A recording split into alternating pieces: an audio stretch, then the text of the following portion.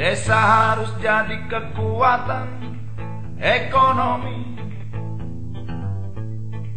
Agar warganya tak hijrah ke kota.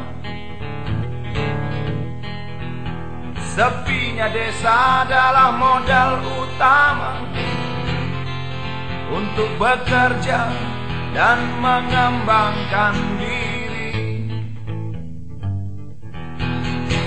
Walau lahan sudah menjadi milik kota.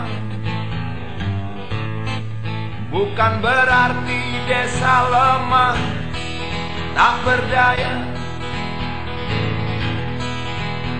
Desa adalah kekuatan sejati.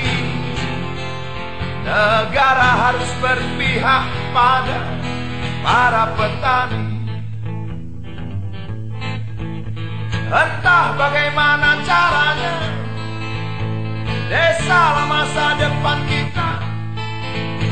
Keyakinan ini datang begitu saja Karena aku tak mau celaka